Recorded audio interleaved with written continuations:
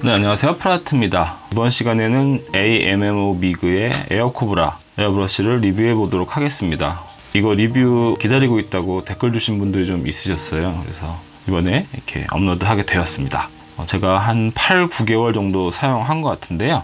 어, 사용하면서 느낀 점 솔직하게 장단점들 구별해서 말씀드리도록 하겠습니다. 일단 이 케이스가 이 제품의 가장 좀 특징적인 부분인 것 같아요. 약간 일반적인 다른 에어브러쉬 그 packaging하고 조금 다르게 되어 있죠? 그리고 네, 이 에어브러쉬는 이제 0.3mm 노즐을 가지고 있는 브러쉬고요. 에어 코브라라는 이름은 이제 3호이고 에어 바이퍼는 2호입니다. 그렇게 두 가지 제품이 있고요. 제품을 구매하시면은 딱 이렇게 단순한 구성으로 되어 있습니다. 에어브러쉬 본체하고 에어브러쉬 앞쪽을 오픈할 수 있는 이 오프너 딱 이렇게 들어 있습니다. 그리고 이제 이 제품을 설명하는 다국어로 된 매뉴얼이 하나 들어 있습니다. 이렇게 접어서 보통 이렇게 보관을 하시죠. 이 브러쉬 이 tail 쪽 컬러랑 이쪽에 이렇게 노란색 옐로우 칼라랑 이런 그 금속 재질의 케이스가 아주 디자인은 예쁜 것 같습니다. 외관 간단히 보면은 일반적인 에어브러쉬 크기랑 같은데 이제 군제 에어브러쉬들이 뒤가 좀 길게 나오죠. 그래서 약간 길이 차이는 이 정도 납니다. 군제 에어브러쉬에 비해서 좀, 좀 짧은 편이고요. 일반적인 에어브러쉬보다 여기 이 광이 약간 살짝 방광입니다. 약간 은은한 광이 나는 그런 브러쉬고요. 뒤쪽은 뭐 이렇게 골드 컬러로 되어 있는 부분이 이제 특징인 것 같습니다. 여기 이렇게 각인이 된 에어코브라 AMMO라고 이제 각인이 되어 있죠. 일반적인 브러쉬는 여기가 메탈 캡으로 되어 있는데 이렇게 고무 캡으로 되어 있고요. 요거는 이제 옵션으로 메탈 캡은 사이트에서 옵션으로 팔고 있더라고요. 그리고 요 앞에 그 needle을 보호할 수 있는 고무 캡이 있는데요. 보통 이제 에어브러쉬 청소, 색상 교체라든지 청소를 할 때 이렇게 역류를 시켜야 되잖아요. 캡을 이용해서 이렇게 하면 이제 뽀글이 역류가 됩니다. 그래서 needle을 보호하는 목적하고 역류를 할 때 사용할 수 있습니다. 네, 이 에어브러쉬는 국내에서 19만 몇천 원 정도에 판매가 되고 있습니다. 20만 원이 조금 못 되는 가격인데요. 어, 아예 이제 high-end급 다른 고급 브러쉬들도 있지만 20만 원 정도 되는 브러쉬이기 때문에 가격은 뭐 어느 정도 그래도 나가는 브러쉬라고 볼 수 있는데 마감이 훌륭해서 막 고급스러운 느낌이 나는 브러쉬는 아닙니다. 이제 오히려 좀 특정 목적에 특화된 에어브러쉬라고 볼 수 있는데요. 여기서 말하는 이 특정 목적은 이제 아크릴 도료에 최적화된 브러쉬인 것 같습니다. 아크릴 도료를 좀 더 편하게 쓰라고 나온 오히려 이제 좀 실용성의 특징을 둔 브러쉬라고 할 수 있습니다. 뭐 그런 부분들 위주로 이제 설명드리도록 하겠습니다. 이 브러쉬의 두드러지는 특징 중에 하나는 엄청난 분사량을 가지고 있습니다. 이게 어, 3호 브러쉬이긴 하지만 일반 그런 3호 브러쉬랑 분사량 자체가 다릅니다. 이게 엄청난 분사량을 가지고 있거든요. 그래서 이렇게 발사를 해보시면 마치 이게 이제 3호 브러쉬가 아니고 마치 5호 브러쉬처럼 엄청나게 많은 분사량을 가지고 있습니다. 도로 컵에 물을 채워서 발사해 보시면 분사량이 많아서 컵에서 물이 아주 빨리 내려가는 걸 볼 수 있습니다. 처음에 아크릴 도색 해보시면 막히는 경험을 많이 하게 되는데 지금 말씀드렸다시피 엄청난 분사량을 갖는다는 건 브러쉬가 좀 막히지 않게 사용하기 쉽게 되었다는 걸 의미하죠. 보통 아크릴 에어브러쉬 하시는 분들 보면은 아크릴이 뻑뻑하기 때문에 막 2바, 3바 이렇게 많이 쓰는 경우가 많은데요. 여기 이 매뉴얼에서 설명하고 있는 거는 1에서 1.4바의 압력을 쓰라고 나와 있습니다. 워낙에 이게 분사가 많이 되는 브러쉬이기 때문에 많은 압력이 필요하지는 않습니다. 노즐 캡을 벗기면 6개의 바람 구멍이 보이고요. 그리고 요 더 밑에 있는 노즐 캡 베이스라고 하는 요 부분까지 벗기면 요 들어있는 키로 이렇게 돌리시면 노즐 캡 베이스까지 벗길 수가 있습니다. 그러면 노즐이 나오는데 이 탄환 같은 노즐이 있습니다. 화면으로 보면 이 노즐 사이즈가 얼마나 큰 건지 잘 못 느끼실 수가 있는데요. 일반 이런 군제 에어브러쉬의 노즐은 이 앞에 노즐은 이렇게 작은데 에어코브라의 노즐은 이렇게 큽니다. 이렇게 작은 노즐에는 도료가 안에서 이제 잘 막힐 수가 있지만 노즐의 크기가 굉장히 크기 때문에 잘 안 막히게 되는 거죠. 일반 에어브러쉬들은 이 노즐을 풀어주기 위해서 이런 작은 공구를 이용하게 되죠. 노즐이 작기 때문에 조이다가 부러뜨리는 경우도 많이 있습니다. 에어코브라는 노즐을 빼기 위한 공구가 없습니다. 공구 없이 그냥 이렇게 끼우게 되어 있습니다. 노즐을 그냥 이렇게 끼우고 그리고 이 노즐캡 베이스를 그냥 돌려서 고정시켜서 이런 방식을 채택하고 있기 때문에 노즐을 빼고 끼는데 좀 쉽고요. 청소도 용이합니다. 이런 방식은 인피니티 에어브러시도 좀 이런 스타일로 되어 있죠. 여기에 노즐 캡하고 needle 캡 이렇게 씌워주면 간단히 조립이 됩니다. 어, 에어코브라의 그 needle 캡 부분이 needle을 완전히 이렇게 막는 구조가 아니고 이렇게 옆으로 완전히 개방되어 있는 최소한의 보호만 해주는 구조입니다. 이렇게 되어 있는 이유는 이제 아크릴 도료가 앞에 잘 맺히거나 근데 굳는 특성이 있기 때문에 그럴 때 이제 바로 바로 이렇게 닦을 수 있도록 개방된 구조이죠. 또 이제 이렇게 막혀 있으면은 도료가 안에서 이런 식으로 막혀 있으면 이쪽에 이제 도료가 잘 낄 수 있기 때문에 개방된 구조를 가지고 있습니다. 어떤 분들은 뭐 요게 좀 그 니들이 보호가 좀 안 돼서 싫어할 수도 있는데 저는 이 부분이 굉장히 장점으로 생각하는 편입니다. 자주 자주 닦아줄 수가 있기 때문에요. 대신에 이제 뭐 떨어뜨리거나 뭐 이런 건 좀 조심해야겠죠. 만약에 에어코브라를 처음 써보신다면 처음에 이 분사량에 대해서 좀 적응을 하실 필요가 있을 거예요. 요, 요 부분은 이 바늘을 뒤로 당기는 이 당겨지는 거리를 줄여주거나 늘려주는 요거를 이렇게 감아주면 여기 앞으로 점점 올라오죠. 이렇게 점점 올라옵니다. 그러면 이게 트리거가 뒤로 후퇴가 조금 덜 되고 많이 풀어주면 트리거가 후퇴가 많이 되겠죠.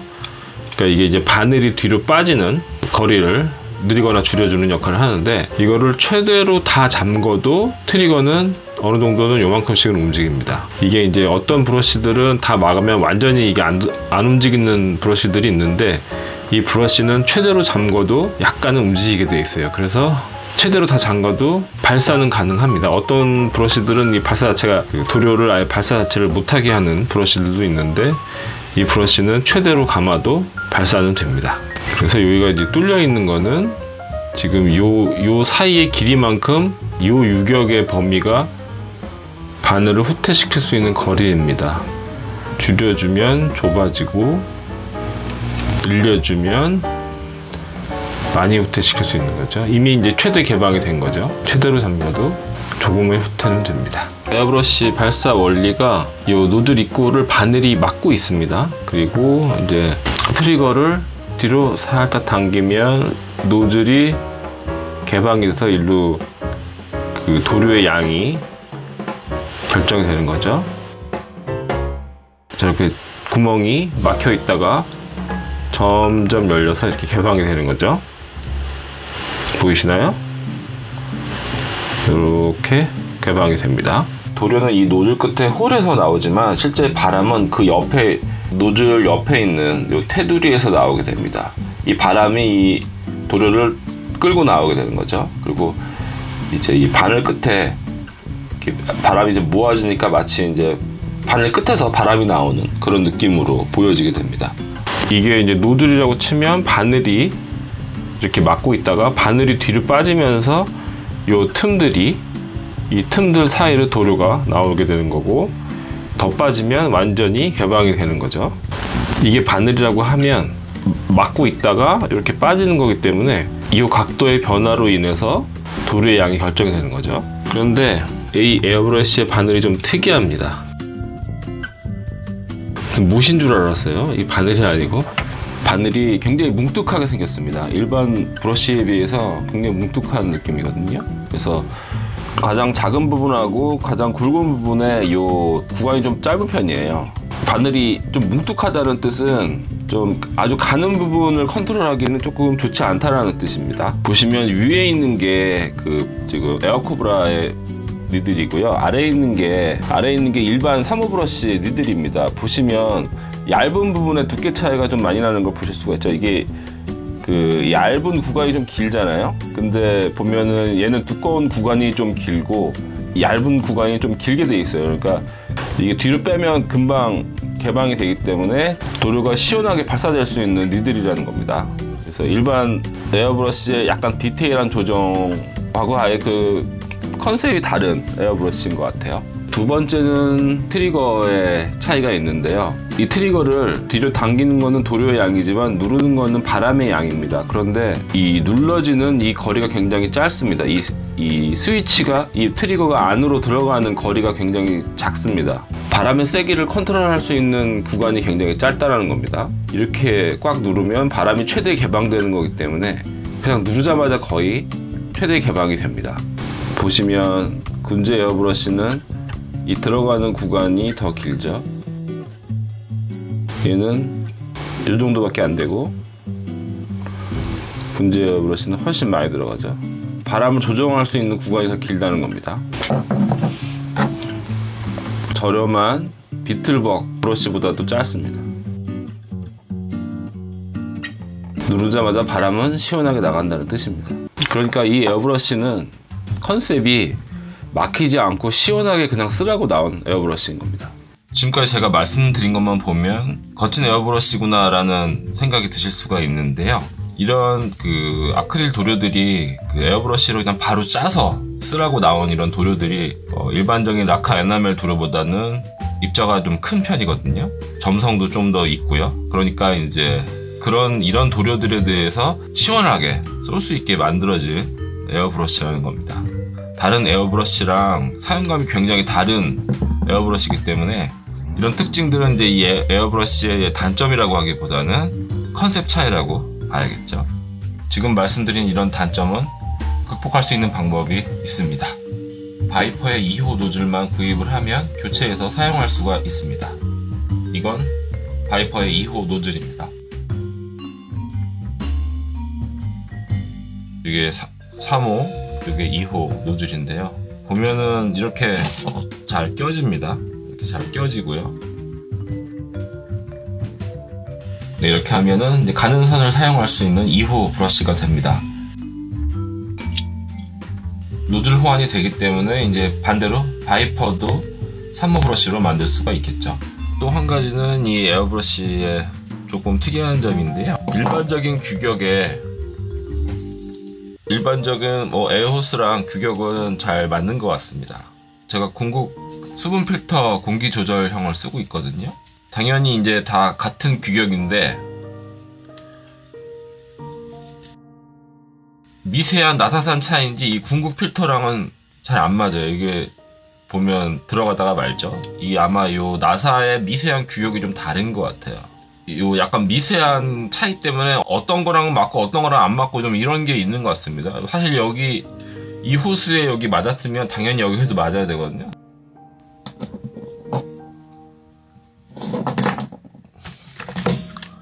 조금 저렴한 비틀벅 이거 새 건데요. 이 영상을 위해서 이걸 비틀벅의 수분 필터랑은 또 잘 맞습니다. 이용과에 들어가기 때문에 그래서 미그에서 나온 수분 필터랑도 아마 사이즈가 맞을 텐데 이렇게 비틀벅 수분 필터랑도 규격이 맞습니다. 미그가 스페인 회사죠. 그러니까 스페인 회사랑 또 우리나라랑 약간의 요 규격 차이가 미세하게는 조금씩 있는 것 같아요. 가끔 여러분이 쓰시는 장비랑 규격이 살짝 안 맞을 수도 있는데 그럴 때는 이제 수분 필터를 맞는 걸 쓰면 연결이 잘 되실 겁니다. 이 에어코브라는 사용해 보시면은 이게 이제 공기 컨트롤이 좀 약하기 때문에 공기 조절 커플링을 이용하시면 제가 말씀드렸던 이런 미세한 공기 컨트롤이 안 되는 거를 보충하실 수가 있거든요.